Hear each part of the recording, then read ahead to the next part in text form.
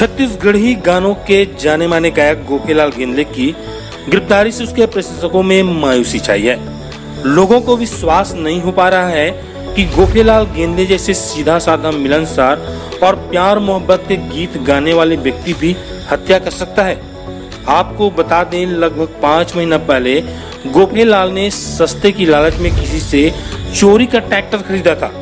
Police ने इस मामले में कार्रवाई किया तो राजकुमार पात्र नामक व्यक्ति ने जुर्म अपने सर ले लिया और जेल जाकर सजा भी काटा। बदले में गोपीलाल ने राजकुमार को मोटरसाइकिल और पैसा देने का वादा किया था।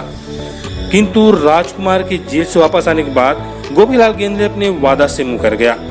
बार बार राजकुमार द्वारा पैसा मांगे जाने से तंग आकर अपने एक और साथी के साथ मिलकर 22 जुलाई को पत्थर से वार कर हत्या कर दिया था। पुलिस ने गोपीलाल गेंदले को गिरफ़्तार तो किया है, पर किसी को विश्वास नहीं हो पा रहा है कि भला गोपीलाल गेंदले जैसा कलाकार भी हत्या कर सकता है। वादा से मुकर कर कुछ पैसा बचाने की लालच ने गोपीलाल को जेल पहुँचा दिया। आखिर वो भी क्यों ना?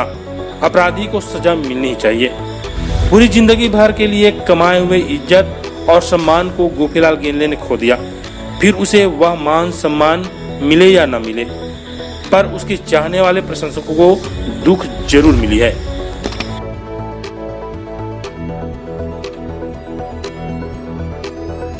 बने जिला प्रमुख व ब्लॉक प्रमुख रिपोर्टर और पाए मौका प्रदेश की सबसे बड़ी news channel Chhattisgarh express news के साथ जुड़ने का। छत्तीसगढ़ की सभी खबरें देखने के लिए देखते रहिए छत्तीसगढ़ एक्सप्रेस न्यूज़। सब्सक्राइब करें और बेल आइकन दबाना ना भूलें।